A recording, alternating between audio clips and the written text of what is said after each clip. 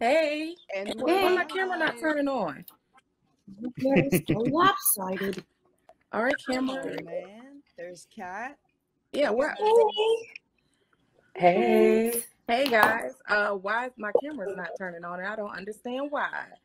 Oh, I have to charge my phone. Blame Mercury and Retrograde for all this shit. Yeah. I was like, ugh. Mercury in her microwaves. Um, yeah, I'm here, but I it it says I, my camera is on. I don't. Hold on. Let me try this again. Video settings. Okay. Oh man. What's going on, Bobby? I'm Like it's really I need a drink. That's all. I need a drink. Did you need a drink? Mhm.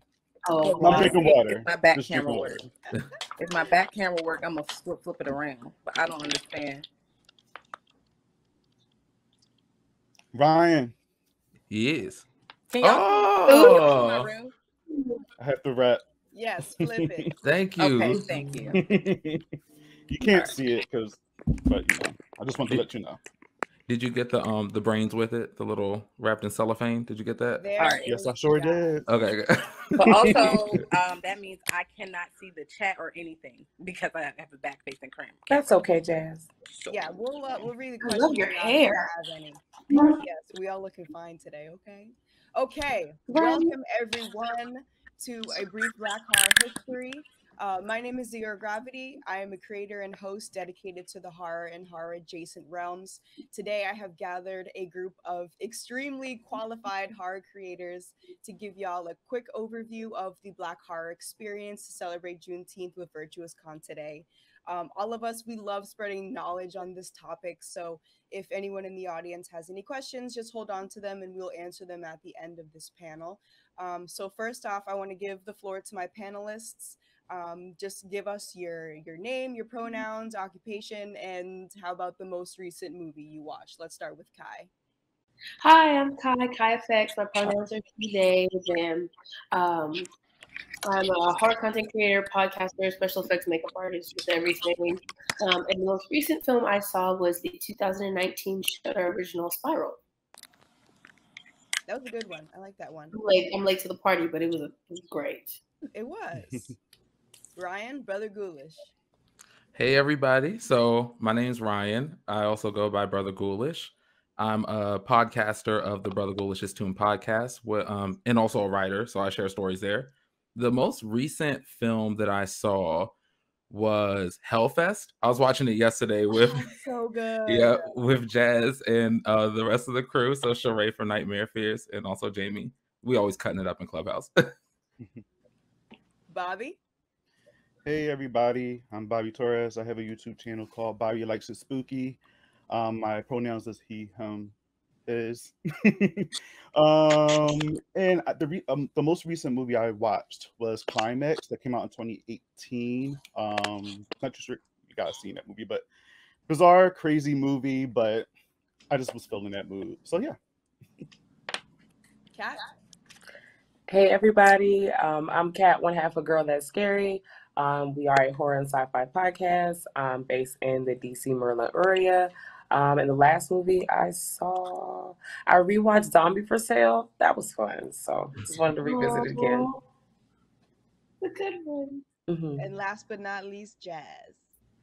And hey y'all, I am Jazzmin, the other half of Girl That's Scary. Now I did watch Hellfest with Ryan. However, I came back after Hellfest and decided, ooh, I'm about to watch Bad Taste. Why? Why did I do that? But I, hey, I vlogged it. Okay, guys, thank you so much for joining me today. I hope you had a a very easy start to your Juneteenth holiday. Um, so let's talk about the basics. Um, I'm sure we've all been down this road before, but let's do it again. Let's start with the tropes. I feel like that's the the best place to start in talking about the Black horror experience. Um, but you know, Black horror cliches are they're like the forefront of of our experience. Unfortunately, uh, it's it's the most obvious inequality in the genre and the most popular in use. We see it all over the place. even though we've freaking had it. But you know what once was the mammy and the jigabo and the sambo and all of these ugly, ugly tropes have kind of transformed and found their way into horror um, in a more digestible way, if you will. Um, so, anyone have any comment on black horror tropes? just, You don't have to raise your hand. Just jump in. Just oh. I can't see when people are talking, so I'm just like, hey, me, my hand. Um, so like what you said, they've changed things to more palatable. So like that mammy character is now that supportive black friend. Are you okay, girl? Let me make sure you're all right. Let me Mhm. sacrifice myself for you. And I'm like, ooh, that stinks. That's smelly behavior. Mhm. Or you have the Sambo character, like the entertainer. You have that comedic. They're always comedic relief. Like they're always jumping in. Ha! I'm I'm funny. Like, but why can't they just be a regular person? Why do they have to tell jokes? This is a horror movie. Right. I agree. Um, and as you was talking, uh, Jazz, I was thinking about the show Them when they brought up the um the character that was in blackface, and I didn't really know how to feel about that character too much, just because it seemed like he was trying to be funny, but then also scary, and it's like I didn't know what they were trying to give with that character. Um, and just with that show in general, it's just like I just want them to retire that whole the whole thing. you know what I mean? It- it- it- it's- oh, go ahead, Kai. no, no, no. Go ahead, finish. It's fine. Oh no, no. Um, I was just saying, I just want them to retire the whole thing. Is is getting tiring and old. And yes, I appreciate the whole new spin, especially with Lovecraft Country and them. Um, yes, it was new, it was fresh, but it's also still triggering, and it's also still kind of just disappointing. Like I want to see new stuff. I'm tired of seeing the same old horror tropes being used again, but just spent differently. I want Mhm. something fresh and new. Something that I noticed uh, was it the I don't know the year the last Friday the 13th that they made was that now um, with like films like Scream the hyper or like ultra aware films that now they're creating these like hyper aware characters of the blackness and trying to I guess um, oh well I'm the black guy am I supposed to go out for like you remember that black character in the in the Friday the 13th remake he's like what, what do you mean I'm, I'm the black guy and I'm a, I'm like okay that's you being hyper aware of your blackness in horror does not does not shy away from the fact that they are still that it's still a trope. like Yeah. you're just being aware of the fact that okay, I'm the black dude, I got to go out first, and it was just a lot. So I, that's something that I've also noticed that there's like this hyper awareness, and I'm like, I don't know if these filmmakers are creating or like projecting this out as a form of like gaslighting black Mhm. audiences or black viewers, but it's just like we get it. You're you're just trying to be hyper aware. That means that you know what you're doing. Like Yeah. I don't know. That's just something That's that a I really picked good up. Point. I never thought of it as like uh, a form of gaslighting. Yeah, it's gaslighting. When we say like when we talk about our black horror tropes, of course, the first one that always comes to our mind is the black dude, the black chick, whoever. They're gonna go first, and that Yeah. that's above everything else. That is the one, and it's kind of become like uh, I I want to say like even like a running joke like you said, how they put it in that new Friday the Thirteenth movie, and I've seen it in like countless movies and and and TV shows where these these characters kind of like break the fourth wall in a way, like oh I'm the black dude, I'm gonna die first. Um, but I never really thought of that as gaslighting, and you know. I guess whoever is writing this script is thinking maybe that they are undoing something by bringing that Yeah. to the audience's But It's attention. not. Um, Yeah. But it's absolutely not when you still have this character who exists to be the "Are you okay? I'm gonna put my Yep. life, you know, on the line for you," and it's it's very um, you know, one step forward, one step back kind of thing. It's definitely one of those situations where the way that these tropes keep persevering, even in recent horror that's coming out, like the sacrificial Negro tropes, it's showing that not only do they not seem to understand how to handle or accept Black humanity, but they're not interested in learning how to change it in a lot of cases. Because sometimes I think that when it's happening, what it stinks of, especially with that hyper awareness, I want to give you points on that. I really love that because I do notice that. Um, it's still abandoning black humanity. Like I was reading Darkly by Leila Taylor, and she was talking about something called digital blackface that's happening now, where these black expressions or like these black moments in pop culture are used as responses to things. And it's almost like still abandoning black humanity because it's becoming a caricature of a um you know and these things are taken out of context typically you know like the kid who was holding the cup and you know doing his eyes like this and stuff Yeah. you know we can make those type of jokes and stuff but when you really dig down into it there's something kind of scary about the idea that it's using a caricature of a black moment out of context to further abandon black humanity and it kind of plays into how these tropes are still happening it's like if they get more people of color and not just one or two in these creative spaces i think that very easily any one of us for example I'd feel like if they were to just hit any of us up we would just let them know we see what you're doing but this is still a trope you know this is still a sacrificial negro negro. This is still a magical negro.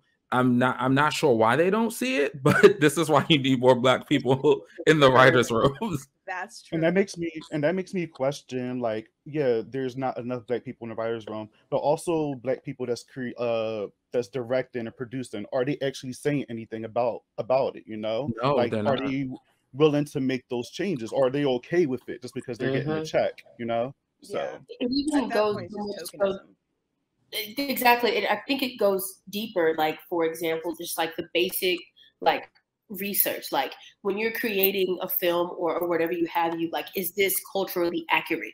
Is this culturally appropriate to say or to de- de- depict about uh, a group of people that i you know that i don't that i don't associate with because but i am writing about them or i have Mhm. a character about them is this something that is culturally appropriate and or accurate about them okay start there and then build up to where it's like okay in this situation what would this character do what would this character do but if you don't have the, the foundation of just being just culturally accurate then Mhm. you go to that first And to add on to what Bobby was saying, like, is the set, is the work environment a safe space? Are there a Mhm. lot of people, or are there a little people, a little bit of people on set, or who around us that look like me? Um, am I in an environment where I feel comfortable enough to speak up about what's going on, or are they uh, are looking for my input? That's important too, because if people at the job don't feel comfortable speaking up, then even when you know they see something is in the wrong, they don't want to say something out of fear of something to happen to them. Like, or you know, not everybody's like that, but some people are like that, and that just trickles down. So lack of people in the room, and can't nobody speak up about what's going on. Mm, Right. Terrible. Yeah.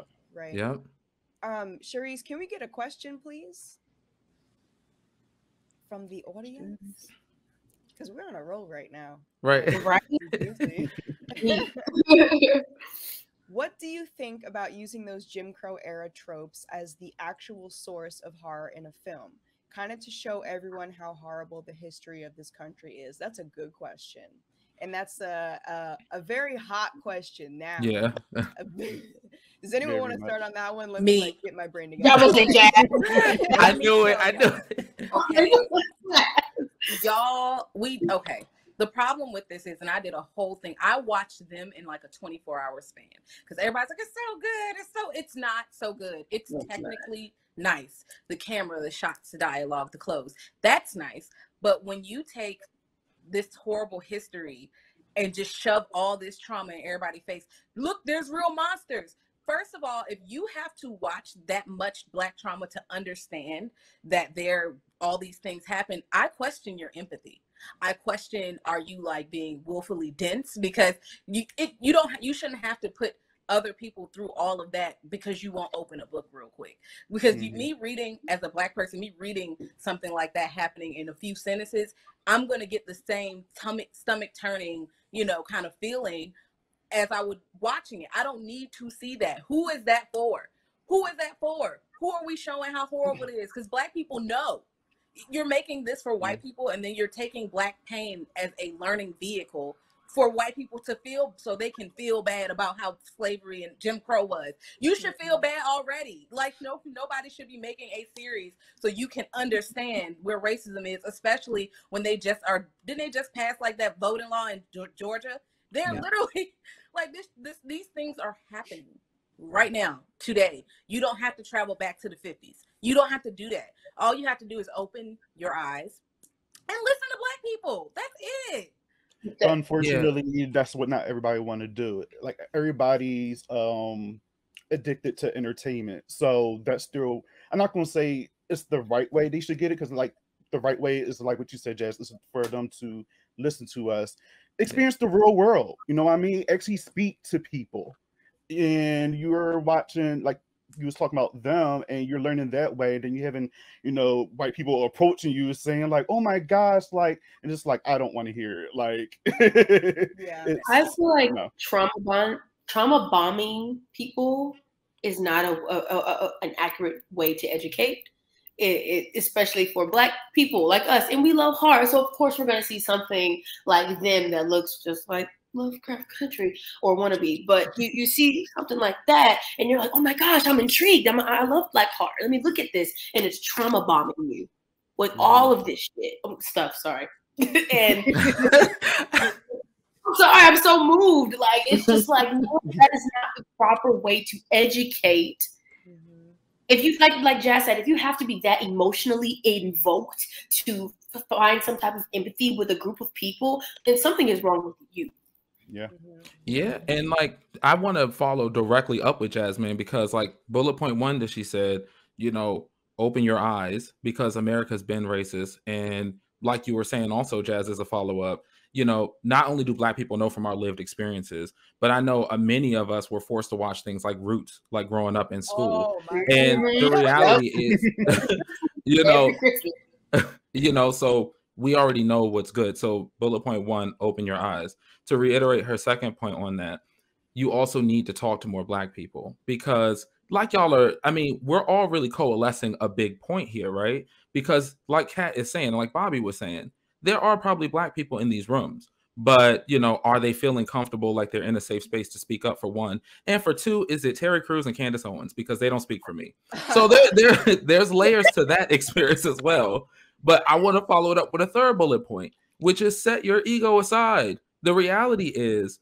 i don't think it's any surprise because we all like run really close together like when i first saw them i thought it was like okay and it was cool and stuff but then as time went on i set my ego aside because the reality is we have to grow as a community. And if we don't set our ego aside and shit then we're just going to keep on creating like what kai called trauma bond, uh, bombing. The reality is a lot of this stuff isn't triggering because of some fake fictional shit. It's this life that we're all living in every day and encountering racism every single day like i know many people on the panel that i vibe with their family members have been through some traumatic ass shit like my family mm-hmm. members have been through traumatic shit because of institutional racism so you just have to listen to what we're all saying and set your ego aside and just leave those tropes alone. There are so many other ways to represent us. That's the soul of what I'm hearing in it. It's that people are tired of, as Black people, yes, lay on me fingers, Bobby. I'm not going to pay that. So I'm not going to pay that. But um, the reality is like we're tired of seeing ourselves as slaves. We're tired of seeing ourselves like as all of these tired ass things. Can we be zombie stompers? Can we be werewolf hunters? Can we be the werewolf? Can we be and I and y'all have told me some of y'all ideas offline that I'm not going to blast y'all on, but all of y'all are fucking amazing ass storytellers.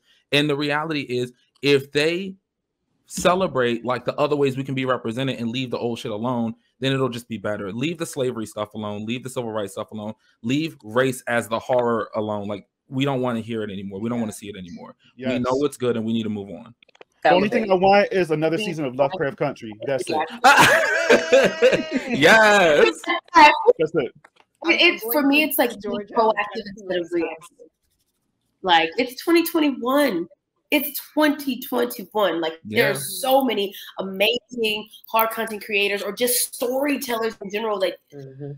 just leave it alone just drop it just drop it Just leave it alone. Yes, Drop Pisces it. Oh, so- right know, just leave just leave it alone.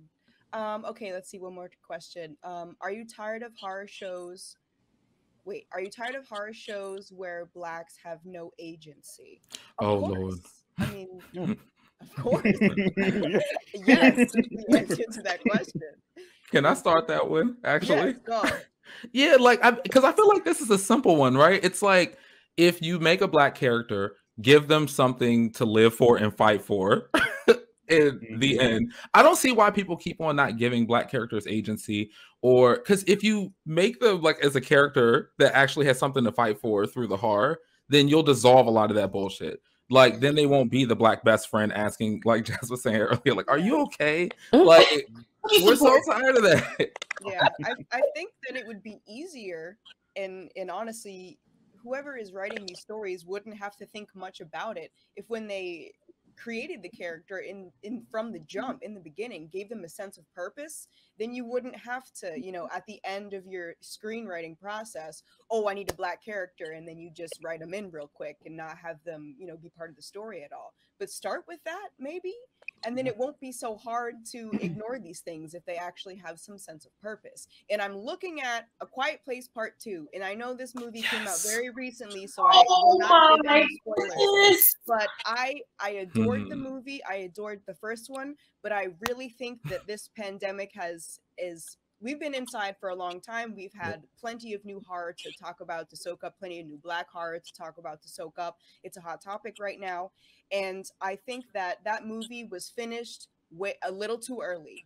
You know, I, I really think that the effect of A Quiet Place Part 2 coming out after all of this stuff is surfacing and after our opinions are like on there on the internet to see and it, it's not within question anymore. If if they had just waited a little bit longer, then I think that it would have been obvious that the changes they need to make, because um, we are very vocal about this within the past two years, um, mm-hmm. and I think that this is just really unacceptable. I really think that anyone who hasn't seen A Quiet Place Part Two should go if, if, you can to the theater safely to watch it and form your own opinions um, but i think we're at a time now that this this crap just sticks out like a sore mm-hmm. thumb and it's you can't it's in your face at this point because we're telling you this is inappropriate. This doesn't need to be happening anymore.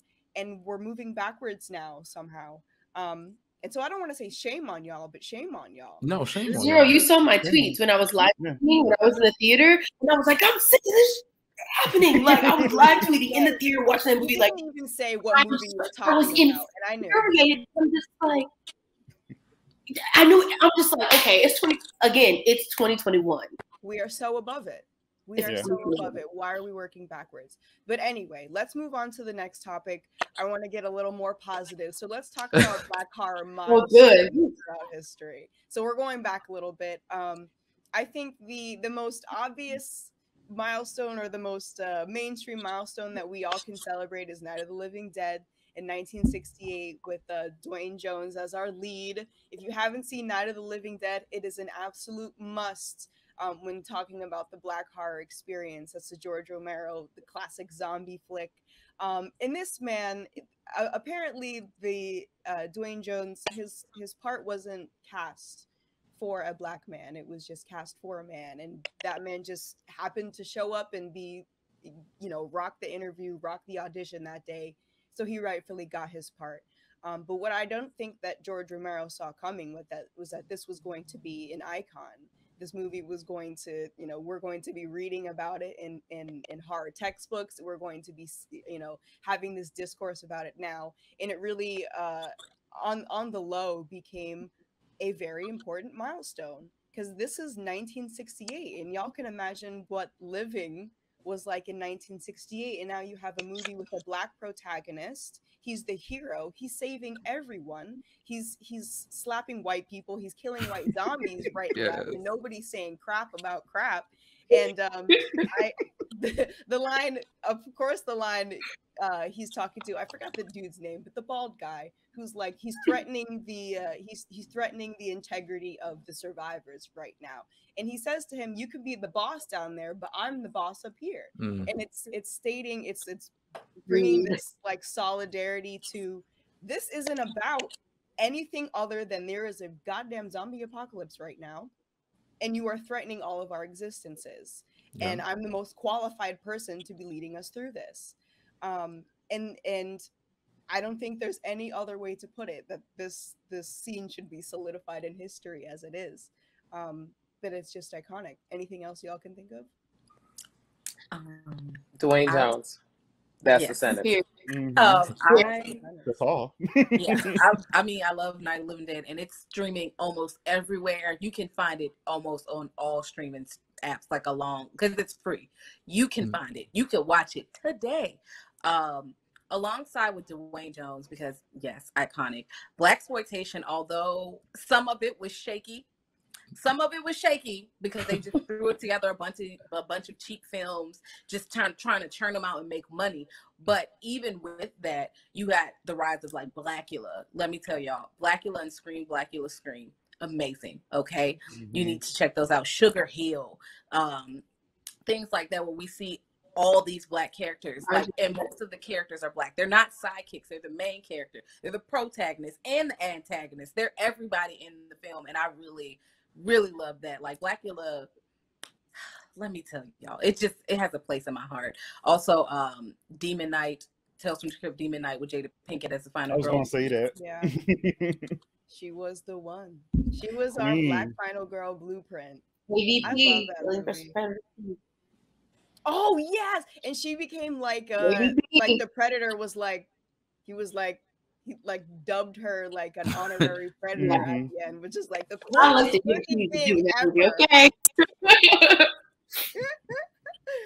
that was it. But anyway, if if y'all in in the uh watching in the audience don't know, blaxploitation was a a period of black cinema around the 1970s, um, which for the most part was just stories about us like jazz said we are the heroes and the protagonists and anyone everyone and everyone in between. And with that period came you know there were some controversial things if you were to watch these these films now but they were getting there.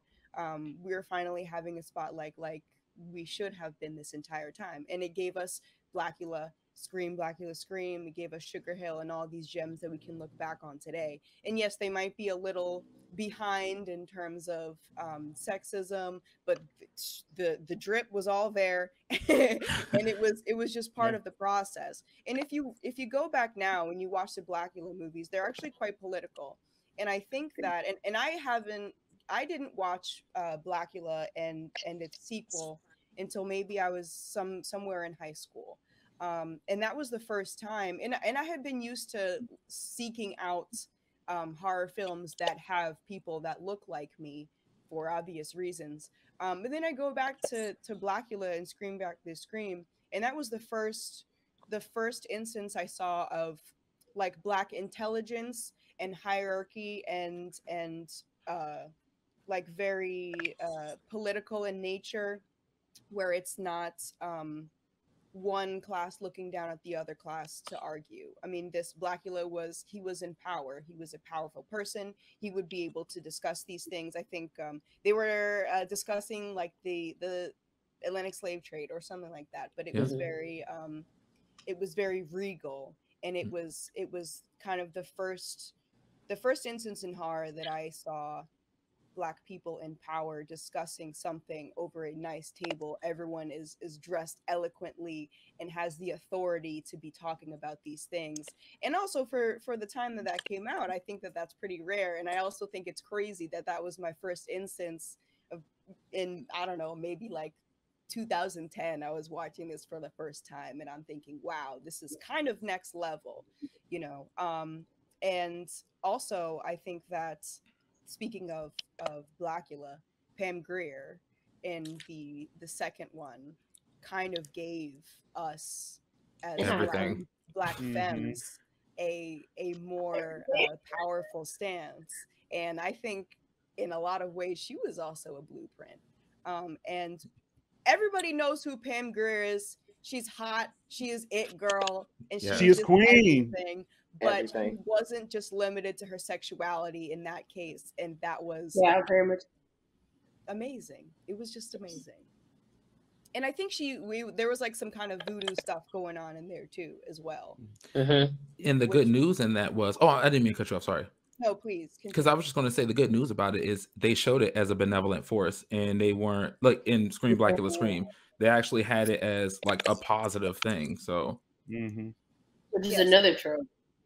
Yeah, Yeah. which was being another smashed trope. which was amazing to see taking back that that you know voodoo source of evil and Yeah. Mhm. you know where what was like poltergeist was on like an indian burial ground and all like spiritual you know this is the reason why we're being haunted. This is the reason why there's chaos in our suburbs is because the damn voodoo lady is like back at it again. But now she's finally using it for good. You can see that this is this is a supernatural force that we can use to to help our people to solve problems and things like that which is which is you know real life. I, I personally don't have any hoodoo connections in my family but i know people that do um, and people who have grannies that practice this and it's not as scary as we think it is. She's probably wearing like a big hat and like looks like your average granny not like some some medicine lady from like a- a seemingly third world country. That's that's not how it is. That's not accurate. Um I think a lot of it has to do. Oh, I'm sorry to interrupt, but I think a lot of it has to do with um, just misunderstanding, and then of course like the whole like satanic panic that went on during that time too, Yeah. of just like this moral panic of people not wanting their kids to be corrupted. And just like open your eyes and like listen to people, which is pretty much the basis of everything that we've been talking about today. But just you know, That's just something I also want them to change as well. Um, as far as the whole voodoo and hoodoo stuff. Like when I watched the movie Spell with um Loretta Devine, that Mhm. movie pissed me off because voodoo is not always used for evil. evil. Why every time there's a horror movie they use it and make it a negative thing?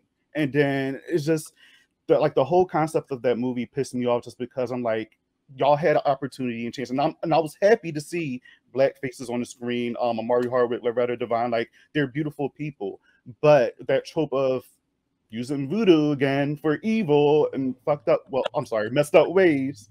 Um, it just pisses me off, and I just wish that they retired it as well. yeah that, that's another one that's just it's old and it has to go yeah, it's 2021. I'm gonna get that let's the move shirt. to the 90s so the, the 90s era we start moving towards like what i guess the horror community would call conscious horror and we start having um, these these um, these conflicts and these um, i don't want to say uh, like coding but they all these movies are about social issues they kind of mimic what the country is going through at the time um, like we have Tales from the Hood and we have a, a comment. Love to Clarence Williams III.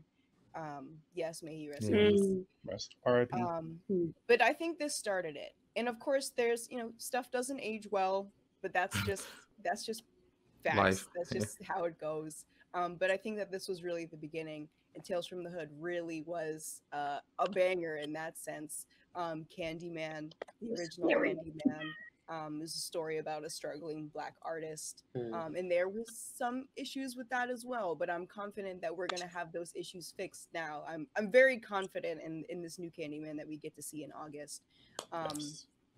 But i think that this is this is the start and i think that the 90s and early 2000s is a really golden age um and it, it's the beginning of seeing more of the horror that we will see that we do see now um having uh black issues class issues gender issues in horror without it being the conflict itself um uh the, the people under the stairs Wes Mhm. Craven, bless his heart, I really think that he is an ally.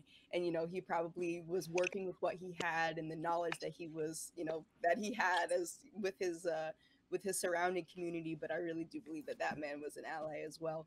Mhm. Um, and yeah, this, I, I think that that was, uh, I don't know, a stepping stone. Anyone have anyone else, anything else to say about, uh, 90s, 90s, uh, early 2000s horror? Brandy, think that- that's it. Brandy. Yeah. Uh, uh, I Oh, still don't know. had the rest. Yeah. Well, Brandy, like Jada Pickett, Pam Grier again, and Bones. Like I was, I was trying to see the resurgence of black horror again when Bones came out. Unfortunately, that movie didn't do as well. I felt like as it should have done because that movie literally like scared the shit out of me when I watched it had it. drip too. too. That Yes. movie. Um, and now I'm starting to see online, like on Twitter and stuff like that, that people starting to show more love to it and start to recognize it more.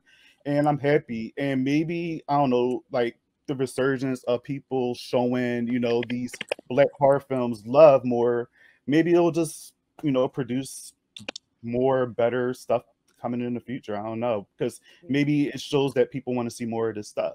hmm I think that a lot of the misgivings that we're that we see in some of the attempts at black horror or black representation in horror, which are two very different things, but like I think a lot of those missteps is time repeating itself, believe it or not. Because to think about how with the Blaxploitation period specifically, it's one of those eras that even though there was so much they did wrong, like so so so much, it helped like put the toe in the door and get it open so that things can start to happen and that's why the 90s and the 2000s was kind of like a big social experiment think about Tyra Banks sorry um for for um for um for us to learn what to do for horror nowadays and we're still making those mistakes for much of the same reason because we're foot our foot sorry our foot is now starting to get into the door when it comes to the major box office stuff and it's because now studios think oh black horror can totally make horror i'm sorry can make these type of numbers now so let's go ahead and give them these bigger budgets but that's still kind of a misstep because they're like let's talk about race and let's talk about this black stuff when in reality it's like we've been living through this so when we saw that door crack open we wanted to see something else something Mhm. fresher and there are creators out there that are that that are doing that and I'm just going to finish it by saying this because y'all know I can talk. Y'all all know that. But uh, so I was going to leave it at this. I think that um, being a part of the diaspora is a very unique experience because so much of our culture has been stripped away from us that the storytellers that understand that and can write to the culture, they really do a damn good thing. Because when Bobby had me on his show for the Lovecraft Country, we could not get over. I can't remember the name of the particular episode, but the scene with the ghost coming out um, at the end of that one particular episode. Because in the diaspora, we don't really fear our th- those who have gone out before us, uh, you know, or our ancestors, as some of us refer to them. It's not a place of like dread; it's a place of comfort or belonging, and that's one thing that Lovecraft Country did correctly. They were able to kind of show that the other side for Black people, who you know, so much has been done wrong to us, it's not like that. Like our ancestors and those who have gone before us is not a, a traditional haunting. Like when you think about haunting, you always think about like like y'all said, like the poltergeist. You know, it's on top of ancient Indian burial ground. Those are brown people under there. So for a person of that culture who is going in, they're not going to be haunted. They're not going to be affected negatively by that experience because they didn't do shit. Right. White people did that, you know. Like, what? what that's all I'm That saying. point. Yeah. Okay, so we're like running really low on time, and I y'all know I love this question, and I want to get to it before we can come to a close, and y'all get your shameless plugs in. But I want to end with this question for my panelists: What is your favorite Black horror moment? Who wants to start? I'll Um, start because my oh, go ahead, it's Ben. because mine is um Go ahead. I know it's bad to say because we all love Get Out, but it's the obvious answer. So I I just want to get it out the oh, way. No, we could we Pisces. Look, we could do this, guys. We could we could tag team this. I'm gonna say like because I'm just gonna say like for me, it was I was very excited when Get Out happened, and I'll never forget how it made me feel, especially because I think it was just that moment in time that I'm like the, the filmmakers get it. Black people having their bodies used for you know as a vehicle for um putting Whitey on the moon. That's exactly what that movie felt like, and I I vibe with it, and I always will and still do. Favorite black I- moment. I agree with you. I was going to say Get Out as well, but I just knew that everybody was going to do that. just because it was it, it was an iconic, you know, it was an iconic moment. It's like how can you not choose that? You know what I mean? But I had to think a little back, and I go back to what we were just talking about, Demon Knight with Jada Pickett, you know, surviving and being the final girl because you haven't really seen any of that in horror. And watching her persevere and go through all the stuff that she went through crazy white people, demons, devils, and stuff like that. She persevered and became that final girl at the end and just went on about her journey to become the next demon knight. And that always stuck with me. I wanted a continuation. Yes, I still want one. I, I hey, Listen, she's still with us. yeah, Yeah. she is. Yeah. Step away from the red table and just spice it up. Just step away for a little bit. for me the scene when um when we of course figured or felt that Chris was gonna go to jail when we saw those police lights and it ended up being his friend and it was TS and FA and I was like Yeah. yes yes yes yes So the, the feeling that I felt watching that in the theaters and being like, oh, we're gonna go to jail. It's the same old, same old, but it was like, no, I got you. brother. Like Yeah. I'm gonna save you from these crazy like people. Jazz cat. Go, Jazz. You can go ahead. Okay. So wait, because I'm like my phone went out. I don't know why. It's okay, girl. Favorite Yeah, Black yeah. Horror moment. You was Okay, your little moment. great. Thank you. 'Cause I was like, no. I don't know. Maybe it's Sprint. Um. So. Ooh, what's one of my favorite? I don't know. I know. I do know. One of my favorite movies of all time is Tales from the Hood. They I, they can fight my mom. Like you can fight your mama. I don't care. People, it's better than Mortuary Collection by miles. Oh, do not yeah. care. Hmm. Um, my favorite part is when that little boy, when he was going through what he was going through. Spoiler alerts! If you have not seen Tales Tales from the Hood, when he picks up that picture and folds that arm, and the arm bends back like it's Stretch Armstrong, Yes. and they twist him up, and he's just spinning around. Oh my God, I love that so much because the little boy had power. You know, he Mhm. didn't have power before and i want to see more black children with power over people who are harming them so that was great That's beautiful. I love that. Mhm. For me, it was um, Duane Jones telling that white man about himself. um, that moved me. Um, now, was he making shaky behavior in terms of abusing women? Yes. Um, but everything outside of that, because we can't omit that because that's gross. I just love that he was getting the room together. He was letting them know that you could do whatever you want to talk about, and any other day you could do whatever. But um, today is not the day. And to quickly add on uh, to Xero's comment about that, with them casting him and not really going, I'm purposely going to pick a black man. It changed the whole narrative of the story, including mm-hmm. the end. So seeing him play that role was very powerful. And then you mm-hmm. come in with the end where it's like that stab to the gut. You just sick because the person you like really bang mm-hmm. with, love it. Drama. Fantastic. Drama. An updated answer because usually I would say Get Out with Rod in the car, like TS. But um, I've, I've changed my answer to the one scene in Lovecraft Country when Montrose is in the drag club with his Oh, with his significant other. Oh and- yes. and, and he just is oh my That is god. has so this moment of self-discovering and i thought that was beautiful because we rarely get to see this this freaking awesome intersectionality of what it's like to be a a, a gay person and also a, a black person because those two experiences are very different but they they collide with a whole lot of us and you know this this stuff happens and you rarely get to see that on tv on in on the big screen at all. And so i was really thankful for that and it was just like it moves me every time i cry every single time i cry. But we have three minutes left and i want y'all to get your plugs in. So uh where can the audience find you online? Let's start with kai Um, hi, Kai Kai Effects. If you want to follow me on Instagram or follow the page on Instagram, you can go to KF Horror Group. If you want to follow the podcast, Lunch Boxes or Stars Plus Conversation, you can go to MVH Podcast. That's on Instagram and on Twitter. If you want to go directly to the site, go to www.kaiff.com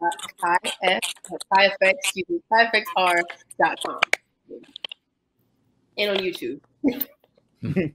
ryan You can find me on all social media platforms at Brother Ghoulish, and you can find my podcast, Brother Ghoulish's Tomb, wherever podcasts are played. And you can find my website, brotherghoulish.com, for everything else. And if you want to see me in person, I'm haunting an underpass near you. Gotcha. oh i like that bobby Well, how can I follow up with that, sir? Like, Right. um, you can find me all social media, Twitter, Instagram, all that at Bobby Torrez with a Z, not an S. Also, my YouTube page, Bobby Likes the Spooky. I review horror movies and do ratings and all that fun stuff and collab with these fine folks every once in a while. And um, yeah. Oh, you also can find me on Instagram as well, Bobby Torrez and Bobby Likes the Spooky. Um, you you can find myself and Jazzmin at um girlthat'sscary.com. We're girl that's scary on everything, Twitter, Instagram. We also got a Patreon with exclusive content. So pull on up patreon.com forward slash girl that's scary. Get into it. Open your purse for all these lovely people who are also on the panel because they are amazing. Period. Thank you guys. and I have been your host, Xero Gravity. You can find me on Instagram, Facebook, Twitter, Letterboxd, Twitch at IDK Gravity. Um, and thank you all for your your uh, very kind questions and for being here with us today, talking about our favorite topic. Um, give all my people a follow, please, or else. And I hope you stick around and uh, enjoy the rest of the panels for this weekend. Virtuous Con has a great lineup of Black creators. Enjoy the blurtiness, and uh, thanks for vibing with us, guys. Bye, Bye. people.